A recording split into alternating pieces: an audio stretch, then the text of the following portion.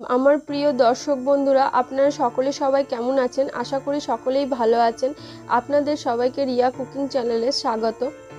আপনাদের যখনই নতুন কিছু রেসিপি খেতে ইচ্ছে করবে, তখনই আমার ইউটিউব চ্যানেলে গিয়ে আমার লিঙ্কে শেয়ার করবেন কমেন্ট করবেন, আর আমার চ্যানেলটাকে অবশ্যই সাবস্ক্রাইব করবেন।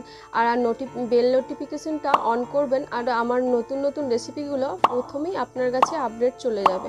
আজকে চাল, চলুন তাহলে দেখে নিন, আজকে আমি একটা নিরামিষ রেসিপি করেছি, পটল আলু চাল দিয়ে একটা নতুন রেসিপি রান্না করেছি। চলুন দেখে নিন, আজকে চাল, পটল, আলুর তরকারি কেমনভাবে বানিয়েছি, সেটাই আপনাদেরকে আজকে দেখাচ্ছি। কেমন অসম্ভব সুন্দর দেখতে হয়েছে। আপনারা ঝটাপট দেরি না করে তাড়াতাড়ি বানিয়ে ফেলুন। না খেলে বুঝতে পারবেন না ঠিক কতটা সুন্দর খেতে এই চাল পটল আলুর তরকারি। চলুন তাহলে দেখে নিন আজকে আমি চাল পটল আলুর তরকারিটা কেমনভাবে বানাচ্ছি। দেখুন কি কি নিয়েছি চাল পটল আলু তরকারিটা বানানোর জন্য কি কি উপকরণ। পঞ্চাশ গ্রাম মতো গোবিন্দভোগ চাল আগে থেকে ভিজিয়ে রেখে দিয়েছি। আলু কেটে নিয়েছি পটলগুলোকে। ভালোভাবে ছাড়িয়ে দুভাগ করে রেখে দিয়েছি। এরপর আমি সব উপকরণগুলো এক একে নিয়ে আমি এই চাল পটল আলুর তরকারিটা বানিয়ে ফেলব। আর নিয়েছি ধনে গুঁড়ো, আদা, জিরে বাটা। এরপর আমি কড়াইটা ভালো করে গরম করে নিচ্ছি। এরপর তেল দিয়ে দিচ্ছি। তেলটা আমি খুব ভালো করে গরম করে নিয়ে এর মধ্যে আমি আলু দিয়ে দিচ্ছি। কেটে রাখা আলুগুলো আস্তে আস্তে করে দিয়ে দিচ্ছি। এরপর আমি আলুগুলোকে খুব ভালোভাবে ভেজে নেব।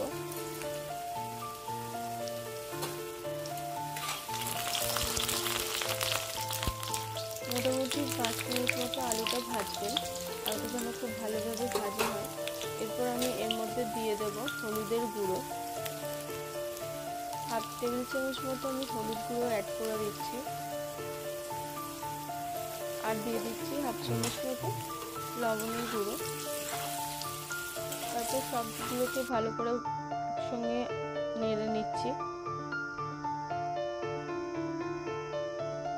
তারপর কেটে রাখা পটলগুলো আমার ভাজা আলুর উপরে দিয়ে দিচ্ছি। আলুটা আমার খুব একটা বেশি ভাজা হয়নি।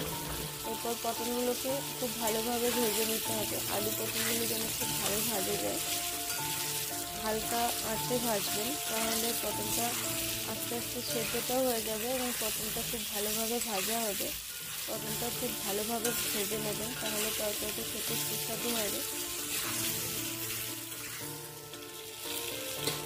দেখুন আমার পটলগুলো প্রায় খুব ভালোভাবে ভাজা হয়ে গেছে, একদম লাল করে এরকমভাবে ভাজবেন, তাহলে অবশ্যই তরকারিটা খেতে খুব ভালো হবে।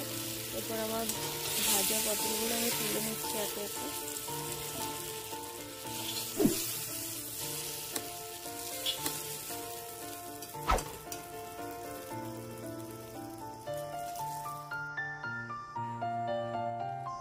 ফোড়নের মধ্যে দেখুন আমি কি কি অ্যাড করছি।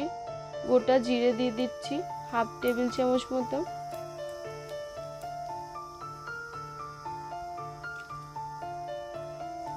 চার পাঁচটা মতো গোটা লবঙ্গ দিয়ে দিচ্ছি। একটু পরিমাণ মতো দারচিনি দিচ্ছি।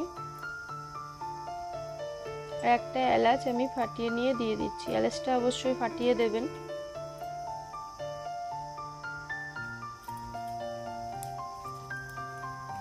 এরপর দিয়ে দেব দুটো তেজপাতা। তারপর এগুলোকে একবার খুব ভালোভাবে নেড়ে নেব। এরপর আমার বেটে রাখা জিরে আদা বাটা, এটা দেখানোর জন্য আপনাদেরকে দেখাচ্ছি। এই জিরে আর আদাটা আমি বেটে নিয়েছি। এরপর আমি এই ফোড়নগুলোর উপরে আদা, জিরে বাটাটা দিয়ে দিলাম। তারপর এগুলোকে খুব ভালোভাবে আস্তে আস্তে নেড়ে নেব। জিরের গন্ধটা যেন অনেকটা যায়। এরপর আমি একটু জল দিয়ে দিচ্ছি।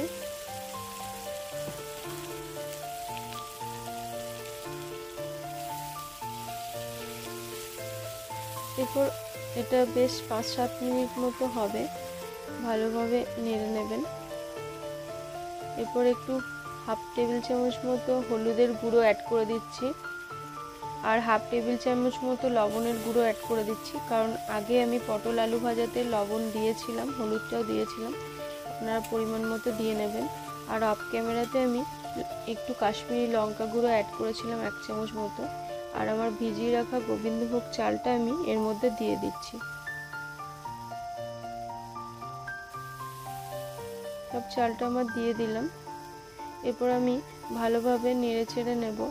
চালগুলোকে যেন ভালোভাবে নাড়বেন, যেন একটু ভাজা ভাজা হয়, তাহলে তরকারিটা খেতে খুব ভালো লাগবে। চালগুলো একটু ফুলে ফুলে উঠবে, আর সেন্টটা খুব সুন্দর হবে, কারণ এটা গোবিন্দভোগ চাল, সেই জন্যই। আর আমি দিয়ে দেব হলুদ ধনের গুঁড়ো।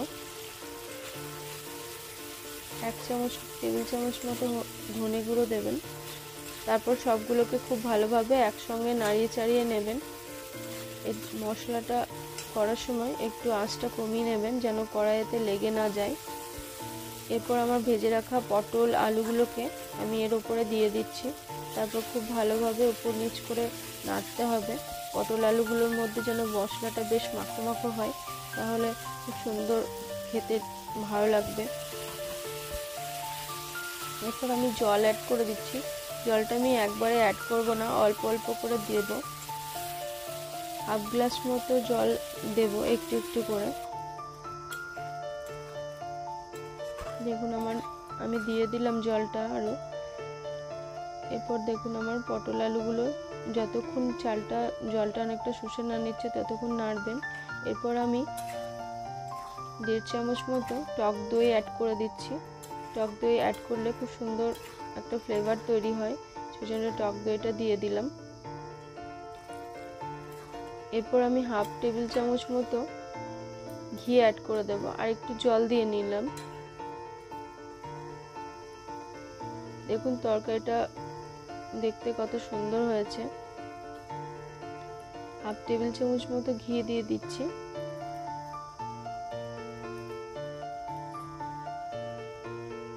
তারপর সবগুলিকে আবার ভালোভাবে নেড়ে নিতে হবে। আর দিয়ে দিচ্ছি চারটে কাঁচা লঙ্কা কুচি ফাটিয়ে রেখেছিলাম আগে থেকে। এরপর আমি দিয়ে দিচ্ছি পুরনো নারকেল। আমার তরকারিটা দেখুন প্রায় রেডি হয়ে গেছে। একদম এরকম গালাগা লাগা করবেন, জলটা যেন বেশি না হয়, এরকম একটু ঝরা ঝরা হলে তরকারিটা খেতে খুব ভালো হবে। আমার তরকারিটা একদম পারফেক্টভাবে রেডি হয়ে গেছে। এরপর আমি এর মধ্যে পরিমাণ মতো চিনি অ্যাড করে দিচ্ছি। হাফ চামচ মতো দিলাম। আমার দেখুন তরকারিটা একদম রেডি হয়ে গেছে। এরপর আমি আমার তরকারিটা নামিয়ে নিচ্ছি। আপনি, আপনারা যদি এরকম চাল পটল আলুর তরকারি বাড়িতে বানিয়ে খেতে চান, তাহলে আমার এই রেসিপিটা অবশ্যই বানাবেন। আশা করি আপনাদের সকলেরই ভীষণই ভালো লেগে থাকবে। আমার এই চাল পটল আলুর তরকারিটা একদম পারফেক্টভাবে তৈরি সুন্দর হয়েছে। আপনারা কালার দেখে নিশ্চয়ই বুঝতেই পাচ্ছেন কেমন সুন্দর খেতে হবে। আপনারা বাড়িতে অবশ্যই আমার এই পটল আলু চালের রেসিপিটা ট্রাই করবেন আর কমেন্টে জানাবেন কেমন হয়েছে আপনাদের এই আমার রেসিপিটা আপনাদের কেমন পছন্দ হয়েছে। বাড়ির সকলকে খাওয়াবেন এই রেসিপিটা বানিয়ে আশা করি সকলেই পছন্দ করবে আমার এই রেসিপিটা আর এরকম আরও নতুন রেসিপি পেতে আমার চ্যানেলটাকে সাবস্ক্রাইব করবেন। আজকে তবে এ পর্যন্তই থাক। আপনারা সবাই ভালো থাকুন সুস্থ থাকুন।